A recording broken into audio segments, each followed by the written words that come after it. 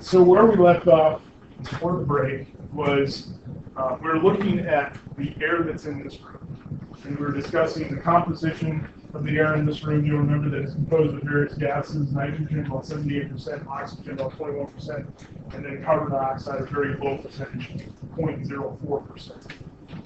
Now, the thing that's really interesting about gas and both gases that are in the air is each of the gases, each gas is going to exert its own pressure. So each gas is going to exert its own pressure. So when we look at the total, the nitrogen exerts a pressure, the oxygen exerts a pressure, and the CO2 exerts a pressure. Collectively, all of those gases add together give you the total pressure of the air. The way that we calculate how much pressure an individual gas is going to exert on the total, or how much it exerts, is based off of the percentage of the gas in the composition.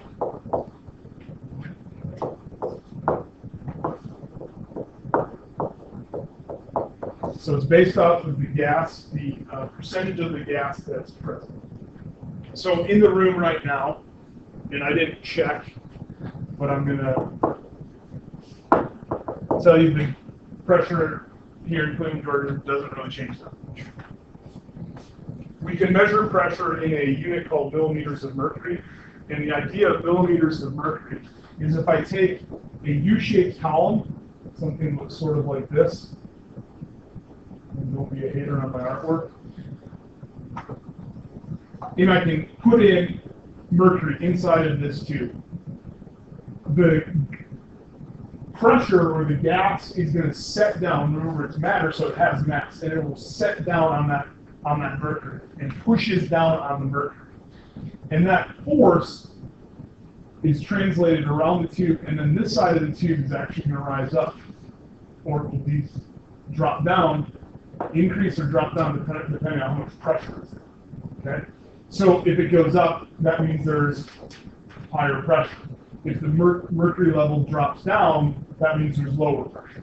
So it pushes on that column of mercury to cause that, that column of mercury to change its level. That part of the tube over here is actually going to be uh, calibrated, and we would calibrate in something like millimeters of mercury. Okay, now I've just given you the way that we quantify what's called barometric pressure.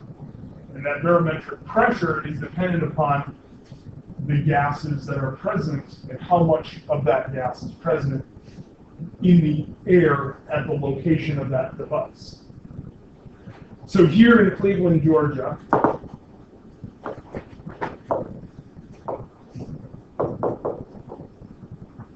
pressure exerted by the atmosphere is about 760 millimeters of mercury. That's basically anywhere from sea level up to about 5,000 feet. It's roughly going to be about 760 millimeters of mercury.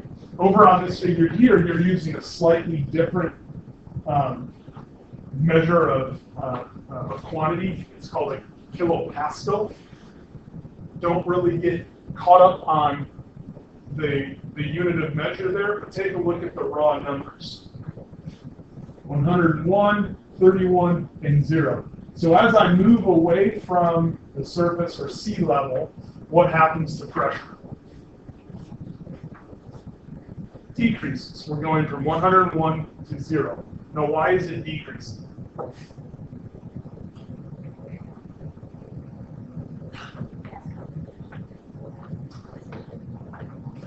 So it's going to be the total gas content that changes. Remember, gas is matter, or oxygen is matter, and matter always has mass, right? If I take one of your mugs, sorry, I'm going to destroy your mug. Just throw it out the window, what happens to your mug? What's that? And why does it shatter? Because it goes down to the ground, right? Why doesn't it go up? Because gravity is pulling it down. Gravity always affects matter, including these gases. So all of the gases that are out here in our atmosphere are continually being pulled down towards the surface of the Earth. So that causes these gases to build up near the surface and to be much thinner or less content out here further away in the atmosphere. Because those gases are matter and they're being pulled by gravity towards the center of the earth. So they build up down here. And so we have much higher pressure because we just have more gas that's there, more molecules of, the, of those three gases located near the surface and it gets thinner or less quantity further away. So right here, about 760 millimeters of mercury, and you can say plus or minus about 10 millimeters of mercury can still be within that range. And that 10 millimeters of mercury, that change is tiny. It's not really that big of a deal compared to what we're going to begin to talk about, and that's moving air in and out of the lungs. We can change the pressure in our lungs by a much greater amount than just 10 millimeters of mercury. So if I have a total of 700 millimeters of mercury, and I've already given you that each gas exerts its own pressure and it's based on the percentage of the gas present, we can actually calculate, do a little math, and calculate the amount of pressure that oxygen exerts and the amount of pressure that the nitrogen exerts. And it's all based off of the percentage. So what we're going to do is we're going to take a look at, as an, at an example of the oxygen. So does anyone remember how much oxygen there was? 21%. I'm going to convert it into a decimal form. That just means I move the decimal over uh, two to the two to the left. So 0.21. I'm going to take that. That's my 21%. I'm going to multiply it by my 760. If I pull out a calculator and do that, I've already done it for you, so don't worry about that. This is going to be 160, and it's going to be 160 millimeters of mercury. So, in other words, if I go back over here to my apparatus, the column of mercury is going to increase 160 millimeters. You all understand a millimeter, it's a distance. It's going to travel 160 millimeters because of the oxygen that's present in the system. We can calculate it out for nitrogen, so we just take 0.78 times the 760 and that's going to tell us how many, how many millimeters of mercury we should expect that column to increase because of the presence of the nitrogen. The carbon dioxide is 0.04, so it's actually going to be 0.0004 times the 760 to calculate the uh, gas percentage, the pressure exerted by that percentage of gas in the total. So the 160 millimeters of mercury is a part of the 760. So we're actually going to determine or, or, or uh, call that a partial pressure. We're going to denote it as a partial pressure.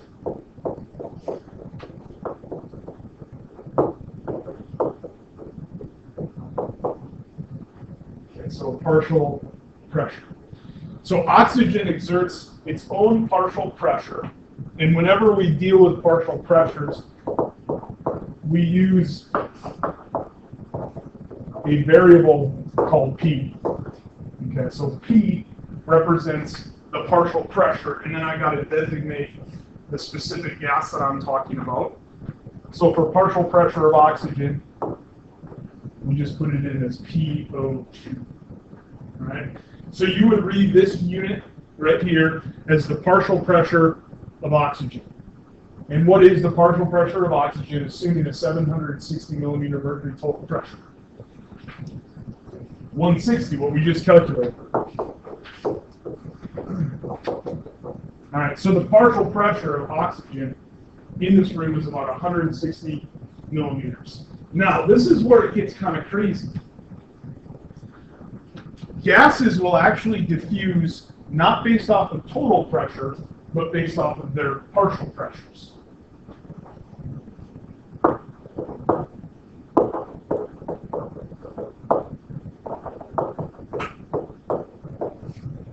We call it a partial pressure gradient, which is what is going to dictate how a gas will diffuse from one location to another location.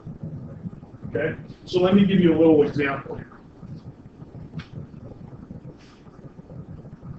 Sorry. So over here, I'm going to put in a barrier. Okay? And this is just to help me represent that I have a location A and I have a location B. Now, let's put in some gases in this, in these two different locations. Let's say that my partial pressure, well, first let's put in a total pressure. And let's say total pressure over here is like a thousand.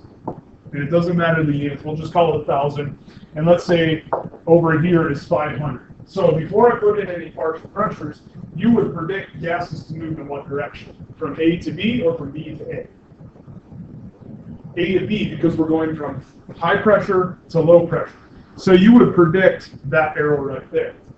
Now let's take a look at some composition and let's say that over here, that's actually a thousand from nitrogen and zero from oxygen.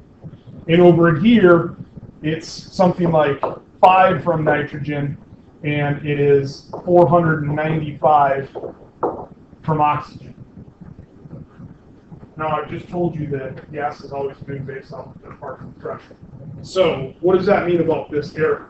This arrow basically becomes irrelevant. We can't use that for anything because it's not based off of the total pressure, it's based off of the partial pressures. So, how is nitrogen to A to B. So, the arrow was correct for nitrogen. Well, what about the oxygen? Oxygen is actually going to move from B to A. And that's why it's crazy because this really seems like it's going against a pretty substantial force. So the total pressure is irrelevant. It becomes a matter of how the oxygen or how the partial pressure is going to determine the oxygen or the nitrogen moves. Okay? Does that make sense? So you got to look at the partial pressures. So already, what do we know about oxygen movement from the environment to our cells? Because this is A and B now. A is out here in the environment, B is in our cells.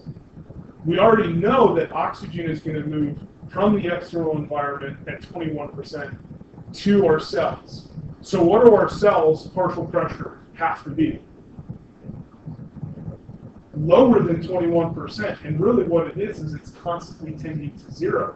Because at the very end of cellular respiration, we have a chemical reaction where we take oxygen and we convert it into water, and so it's no longer oxygen.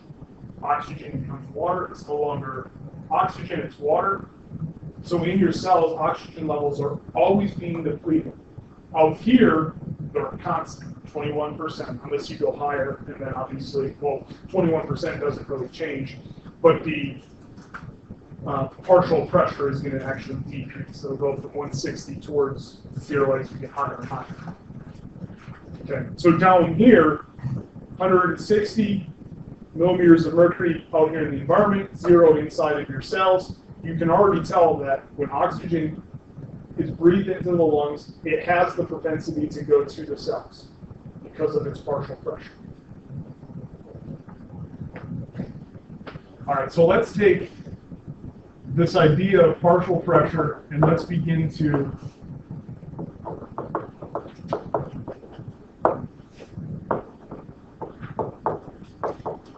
begin to apply it to external respiration. Real quick, what is external respiration?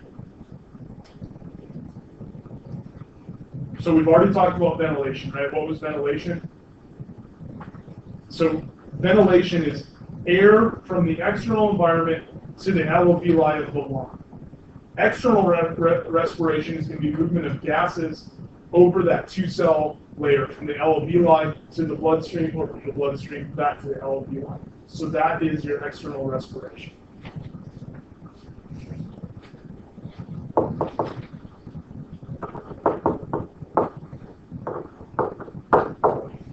So we're going from air to blood. And it's really the air that we breathe in. Now, what we need to know about the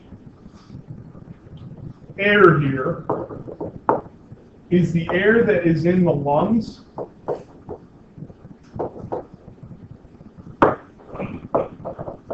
I'm going to call it O. And that's because we're basically going to be starting from that in the ventilatory cycle, the respiration cycle, at that thing called the rest phase.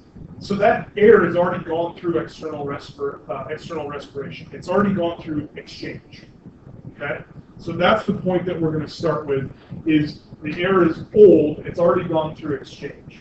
So the air that's in the alveoli before we bring another breath in, what's it comp- what's its composition going to look like in terms of gases? Where's the oxygen going? Breathe in a gulp of air.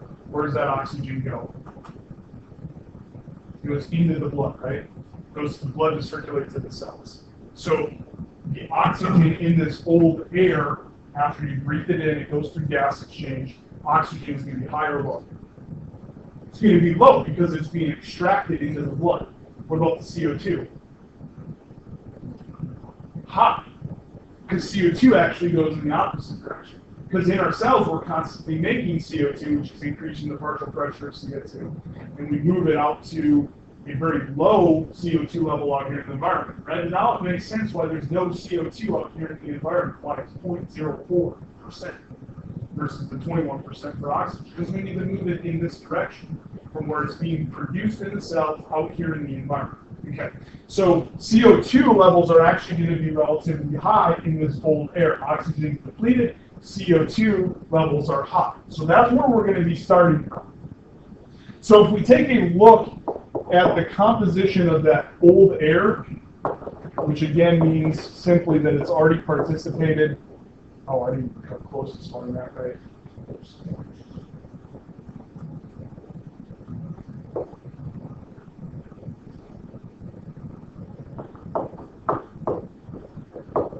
So it's already participated in gas exchange. And so if we were just to take a little sample of that air out of our lungs, already participated in exchange, we would find that our PO2 equals 104 millimeters of mercury. Our PCO2 equals 40 millimeters of mercury. 104 for oxygen, 40 for PCO2. Now, I take a, a breath of air in, so I ventilate.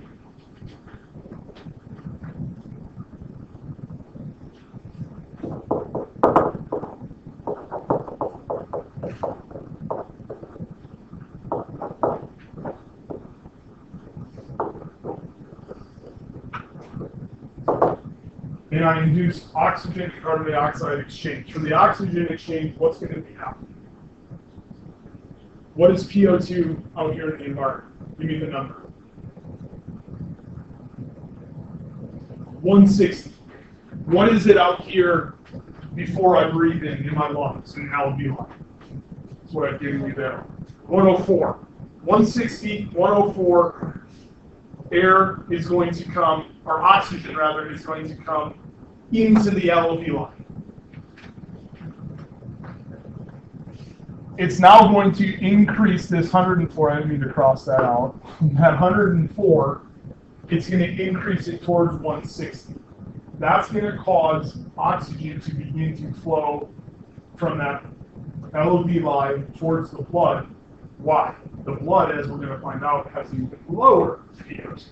So really the big thing that happens on the oxygen side of things, here's our 104. Down here in the tissue, it's 20. 104 down to 20. We're always going to be going towards the cell for oxygen. And we're going to be going away from the cell towards the environment for carbon dioxide. That's like the big take home picture. If you remember that, regardless of the numbers, the numbers could be a billion and one. But as long as you remember CO2 goes from the environment to the cell, and CO2 goes from the cell to the environment, you will understand how the respiratory system works in each of these three different stages that we're going to talk about Inter external, internal, and cellular respiration. CO2 is always going in. CO, I'm sorry, O2 is always going in, CO2 is always going out. So oxygen exchange. I've moved the air into the alveoli.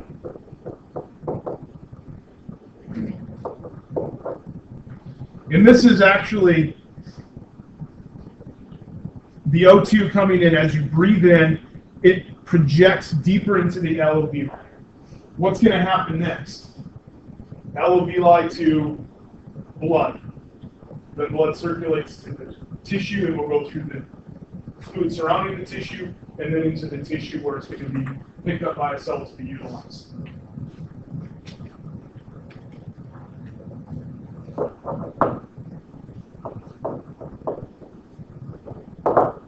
Okay, someone give me the CO2 exchange. I breathe the air in, air begins to fill through these passages. I got the old air down in the alveoli. CO2 is going to begin to move alveoli to air to come up.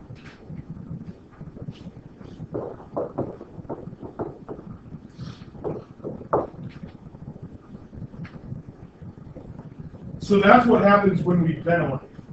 You move air in that's not old out here in the environment to the air that is old in here in the alveoli. The oxygen comes in, and as it makes its way into the upper portions of the lung, we have exchange from the air that we brought in to the air that's sitting in the alveoli. And we have exchange that occurs there during ventilation. Okay? By the way, how about a trick question? Air that I breathe out. Tell me about the composition in terms of oxygen and CO2. High or low for CO2? High, because I've just had that alveoli to the air that I'm ventilating out. How about oxygen? High or low? Low, because I breathed it in, it's got 160 there. So right here, 160 down in the alveoli, 104 has that propensity to flow into the alveoli. And so when I breathe this out, leaving the other stuff down here, leave out that, it's low oxygen, high CO2. All right, now, if we take a look at blood circulation,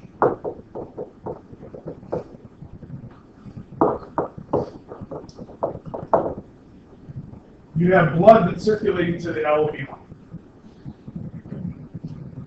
So we have blood that's coming up through here, and then it's going to come back down here. This is the pulmonary circuit.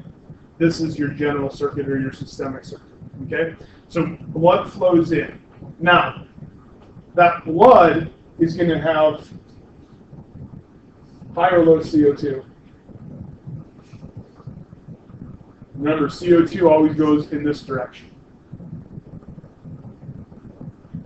CO2 becomes high, so we got high CO2. How about oxygen? Oxygen always goes in this direction. So oxygen is being extracted, so low oxygen is becoming. Okay? So across the alveoli in the blood here, high CO2, low CO2, high oxygen, low oxygen. Now, why is the oxygen low in the CO2 or in the blood coming back to the lungs? Well, it's because that blood has interacted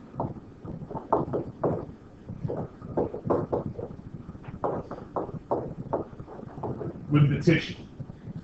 So it's interacted with the tissue, and the oxygen has been pulled out or has been extracted from the blood.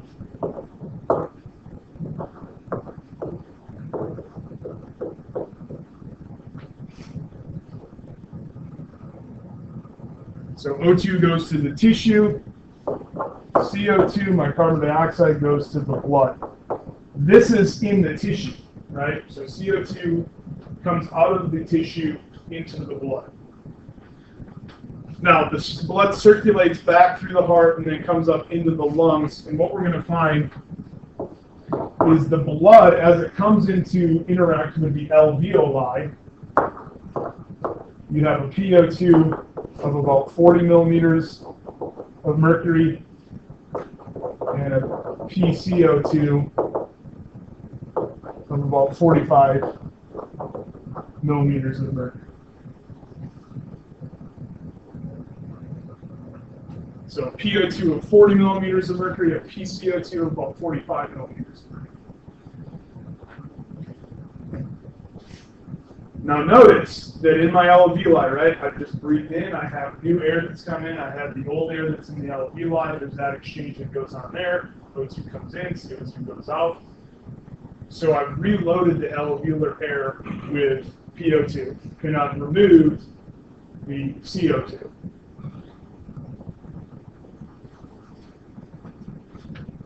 It was 104 in the alveoli for PO2. It's now 40 in the blood. 104 will go to 40. So oxygen will move down its partial pressure gradient into the bloodstream. CO2 is going to go in the opposite direction. You basically all have now the ability to understand how gas exchange exchanges across every level of respiration. If you want a really good like one picture to remember for the whole process, this is it. You have your air, which is going to have a high oxygen and a low CO2. And then you have your tissue down here, which is going to have a low O2 and a high CO2. On the oxygen side, oxygen always moves in that direction. On the CO2 side, CO2 always moves in that direction. That is the basis for this figure right here. I've just got rid of all the other stuff that's in there and simplified it for you. So now I can ask you, okay, I'm in the, I'm in a capillary. How is oxygen going to move from the capillary towards the cell? So I'm in the blood in the capillary. How is oxygen going to move in reference to the cell? Always in, right? Always go O2 away from the air towards the tissue.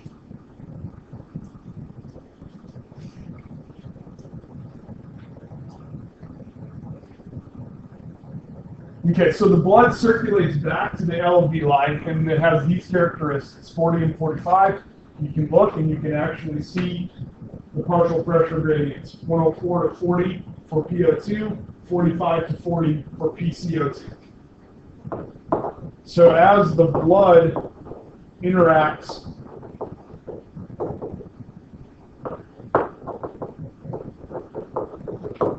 with the alveoli, how will the oxygen move? So uh, alveoli in the blood. How's oxygen move? Alveoli in blood, blood alveoli. It's not rhetorical.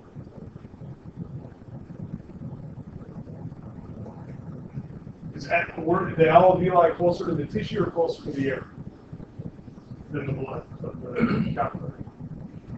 Closer to the air. It's going to go to the blood. So oxygen goes to the blood. You can also look up here on this figure, and you'll see that we have 104 to 40. We always go from the higher number to the lower number.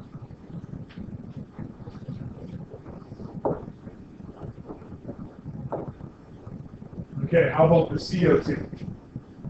CO2 here in the blood versus the alveoli. Air is up here, tissue is down here. CO2 always moves out, so it's going to go to the alveoli.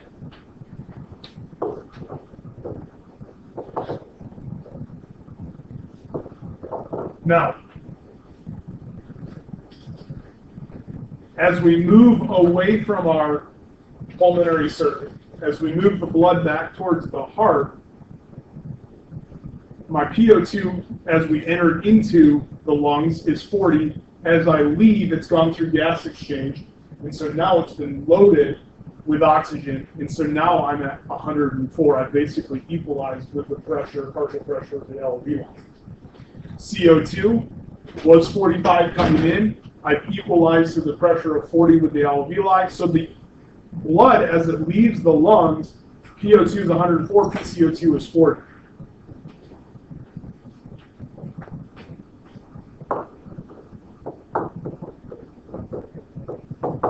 So as we leave the alveoli, PO2 104, PCO2 is 40.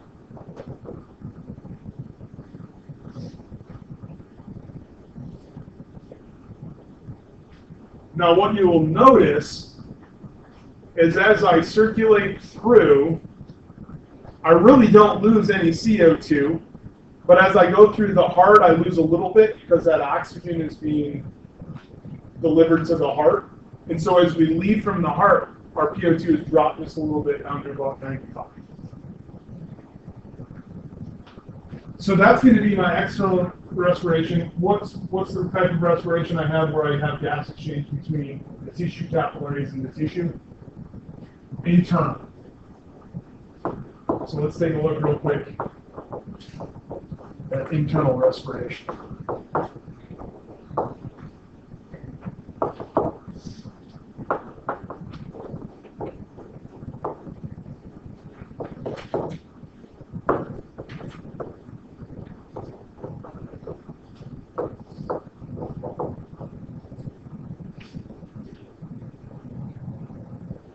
So drops just a little bit, 95 to 100. I'm going to use 100 here. So PO2 drops just a little bit from 104, which we had up here in the alveoli. So now entering into the capillary bed, the tissue bed, 100 millimeters of mercury here. The PCO2, we're going to call 46. Anywhere from 40 to 46, because it's actually 40 to 46 up here in the LOB line. So PCO2, PO2 is 100. And PCO2 is 46 millimeters of mercury.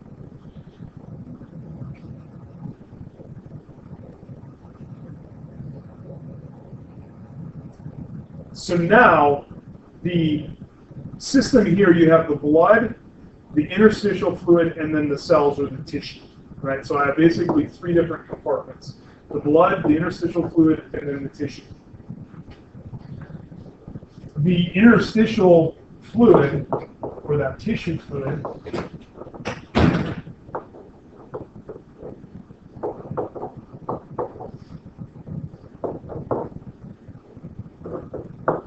is constantly delivering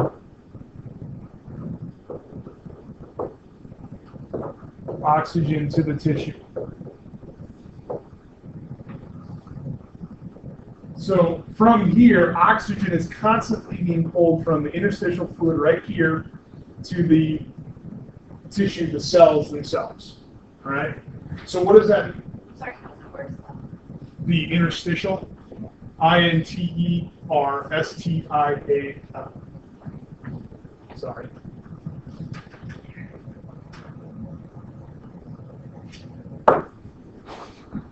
Interstitial.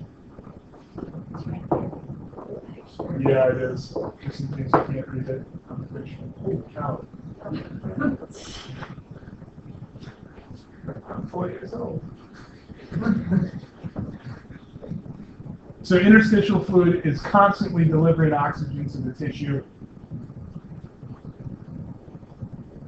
And the reason that we have that drive to deliver oxygen into this tissue is because the cells, the tissue, is metabolizing the oxygen.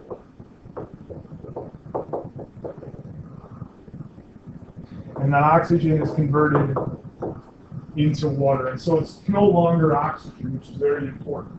Even though H2O has oxygen in it, water is not oxygen. So water is continually increasing in the cell, oxygen is continually decreasing in the cell. The cells are also producing carbon dioxide. Now note that the production of carbon dioxide means that CO2 is constantly increasing in the cell, but it's not associated with the conversion of oxygen into water. It's coming from a different part of the metabolic pathway. Okay? So oxygen levels are constantly dropping, CO2 levels are constantly increasing in the tissue and in the tissue fluid, the interstitial fluid.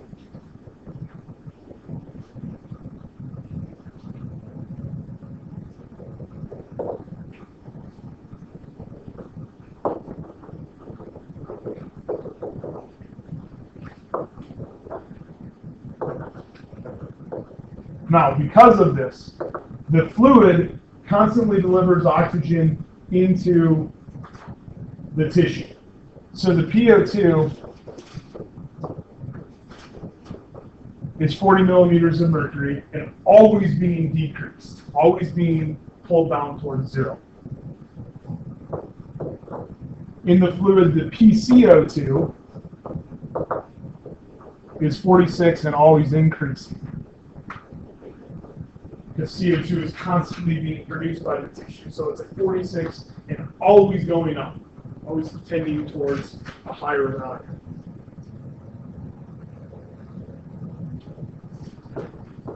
So now, in terms of oxygen from the interstitial fluid to the cells themselves, oxygen always is going to be pushed into the tissue because oxygen is constantly being reduced in the tissue from interstitial fluid to the cells themselves or the tissue.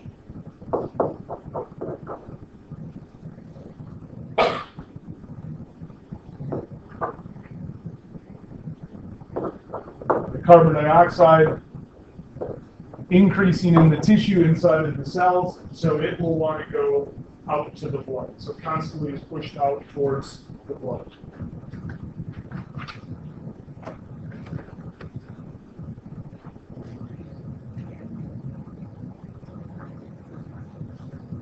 And that's the gist of the rest of the respiratory process. The only thing we haven't talked about is how the oxygen and the carbon dioxide are carried within the blood. We know each point of exchange along the way, and it's all based off of the partial pressure. So if I were to reverse partial pressure and like make partial pressure here higher than 160 in the capillary, oxygen would begin to flow out. That doesn't happen because the physiological norm is for oxygen to circulate through and constantly be pulled into the cells to be converted into water. So again, you have that constant pull of oxygen from the air to the tissue. CO2 is produced constantly in the tissue and is constantly pushed out to the air because of the low concentration. Does that make sense? Does everybody feel relatively comfortable with that? Don't overthink it because it's really not that hard other than some of the physics stuff with partial pressures and keeping track of those and keeping track of the numbers. The general idea is CO2 goes this way, PO2 or oxygen I should say goes this way. Carbon dioxide in, oxygen out. Now let's talk about what actually is happening in the bloodstream with the oxygen. Yes. You just said CO2. I did. That was wrong. Okay. That was. Did I really? Yeah. CO2 goes Out. out. Yeah. Oxygen goes in. I'll have to review the tape. Throw a flag on that one. Okay, let's talk about. I apologize. I'm not perfect. It's pretty great. So let's talk about oxygen and CO2 carried in the blood. So you're not inside of a capillary bed. You're not inside of the capillaries of the alveoli or the lungs. You're in an artery circulating through the circulatory system. You're an oxygen molecule, you're not just inside of the blood. You're actually going to be attached to you're going to be attached to another molecule. So once oxygen enters the bloodstream, it's going to be transported, associated to a protein called the hemoglobin.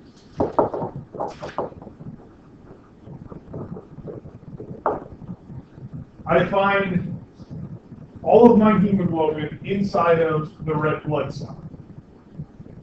So as oxygen comes in from the alveoli to the blood, it spends a very short amount of time traveling through the blood, through the membrane of the red blood cell, and then associates with the hemoglobin. So that protein picks it up. Now the reason the protein can pick it up is because there's two different parts of this protein. The first part is the heme group, and if you're up on minerals, you'll know that heme is associated with mineral called iron. Okay? So iron is found inside of this particular molecule called hemoglobin associated with this part of the molecule called the heme group. And it's that heme group, that iron containing group, that carries the oxygen. So really, the oxygen comes in, spends a short amount of time in the blood itself, goes through the membrane of the red blood cell, and then attaches to that iron. The globin is just simply the fact that the protein, there's a proteinaceous structure that holds the heme group that then holds the oxygen. 98% of your oxygen is carried this way, associated with the hemoglobin. The other 2% is what's being transported between the alveoli and the um, hemoglobin, or from the hemoglobin into the tissue fluid. And that's just simply through the blood plasma, the water component of, of the blood.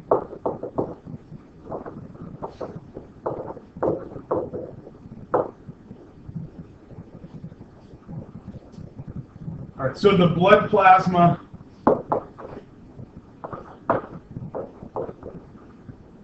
We're also going to find a small amount of oxygen there, and it just is simply dissolved. So individual molecules of oxygen dissolved in the water, that watery plasma. And again, those are just the little tiny molecules of oxygen that are making their way towards the making their way towards the hemoglobin to associate with the hemoglobin, or making their way from the hemoglobin to the tissue utilized in cellular respiration. So maybe two percent.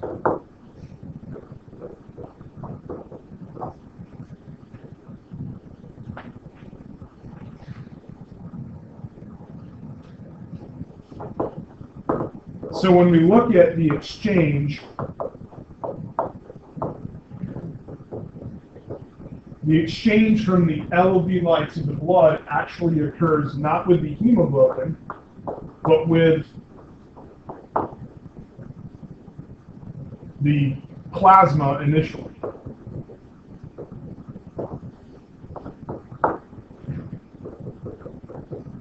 And then we see the same thing down in the tissue bed as well. So exchange occurs between the tissue or with the lungs and that watery component of the blood called the plasma. But once we've transported oxygen into that watery component, 98% of it's going to be picked up and grabbed onto by the hemoglobin. But the hemoglobin has to release it back into the plasma to exchange with the tissue on this side.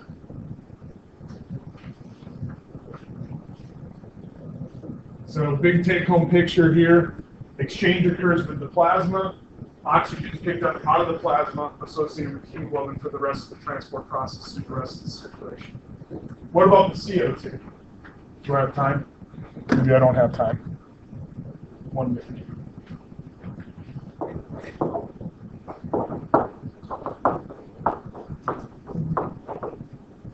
We'll pick up with CO2 transport, carbon dioxide transport when I see you again on Wednesday. And always remember, oxygen goes in, CO2 goes out.